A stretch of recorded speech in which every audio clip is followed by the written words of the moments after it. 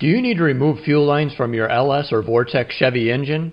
If so, this tool I'll show you next will make quick work of that job. The inside of these lines have push springs all around them that need to be pressed all at once to be removed. This tool just stabs in there and unlocks them all and releases it.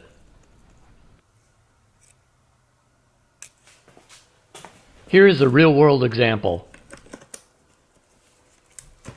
And just like that it is quickly removed.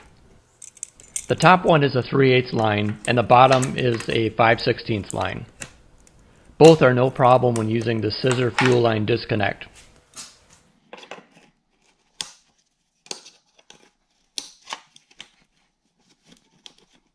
One tip when doing this is to push the line into the tool to help with getting it away from the lip on the actual fuel line.